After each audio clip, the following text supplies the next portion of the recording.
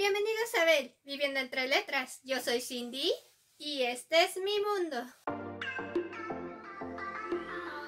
Antes de comenzar con esto, tengo que recordarles que todos los miércoles a las 11 de la mañana siempre tendrán un nuevo video. El día de hoy les traigo una reseña, bueno, en realidad son tres, acerca de tres libros que no tenía muchas ganas de leer, pero vamos a ver si valieron la pena. Pero antes de decirles cómo me fue con estos libros, voy a hacer el nuevo sorteo de los tres nuevos libros que no sé si me vaya a leer este año o el próximo, que son libros que ya llevan mucho tiempo aquí en mi librero y luego ya no me dan tantas ganas de leerlos. Así que vamos a empezar con el primero, Spanish Lady de Claudia Velasco. El segundo libro será Espada de Sebastián Vargas. Y el tercero, Las grietas del reino de Jacqueline Moriarty. Disculpen si hay un movimiento de cámara, pero es que tuve que ir a buscar los tres libros y no sabía dónde estaban, excepto el de Spanish Lady. Y miren, se trata de este. Las grietas del reino, veo que es la primera parte de una saga. Y el otro se llama Tres espejos, espada de Sebastián Vargas. Es este y como pueden ver, es de doble portada. Me imagino que la mitad del libro será acerca de este personaje y la otra mitad acerca de ella.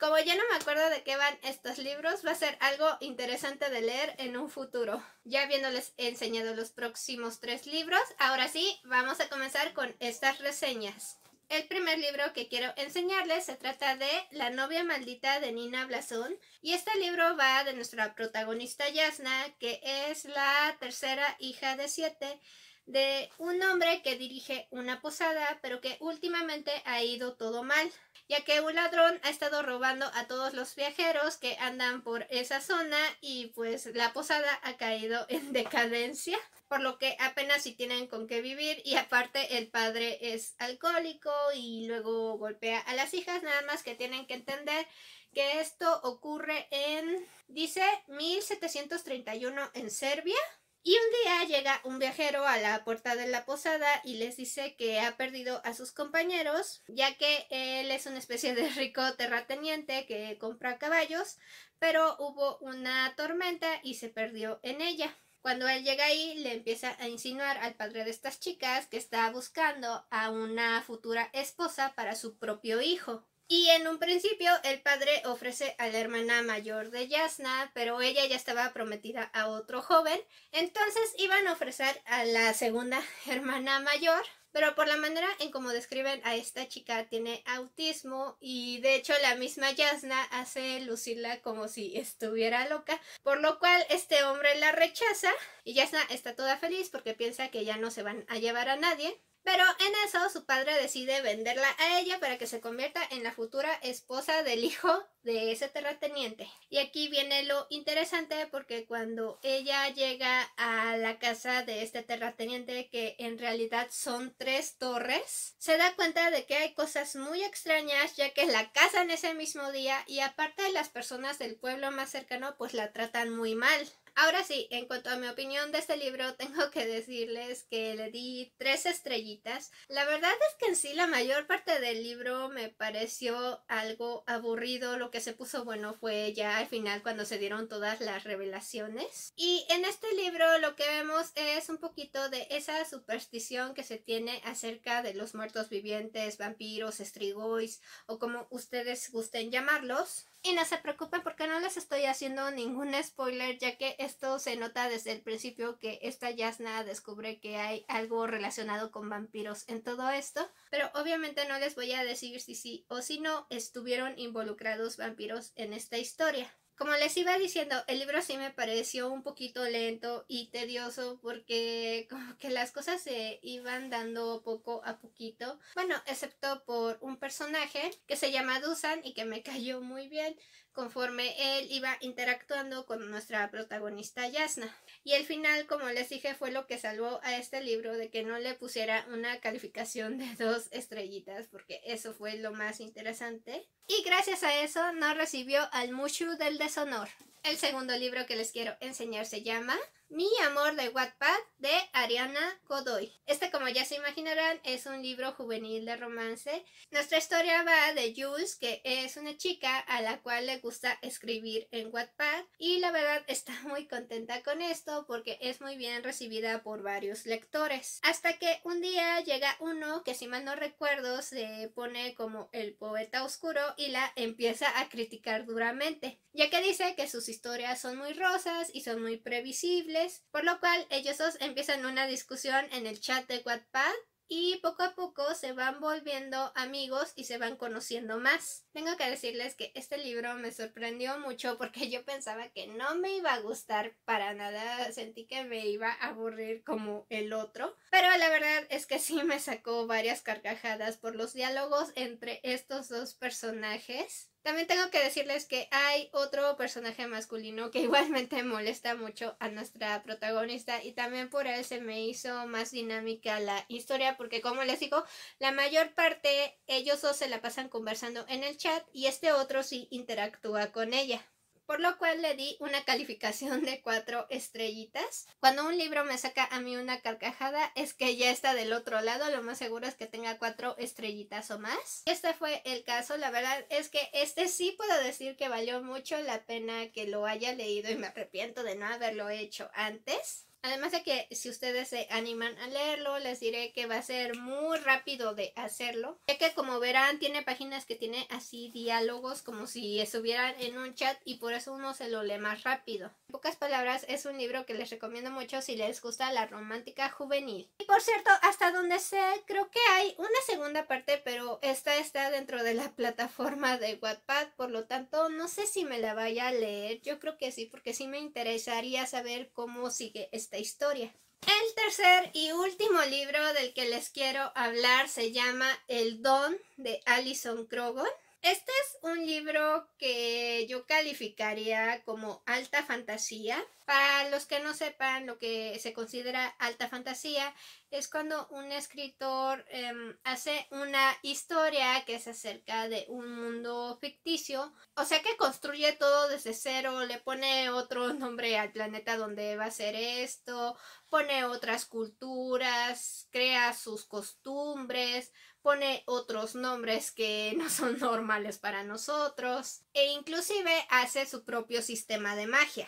Ahora sí, ya habiéndoles contado todo esto, tengo que decirles que nuestra protagonista se llama Maerad.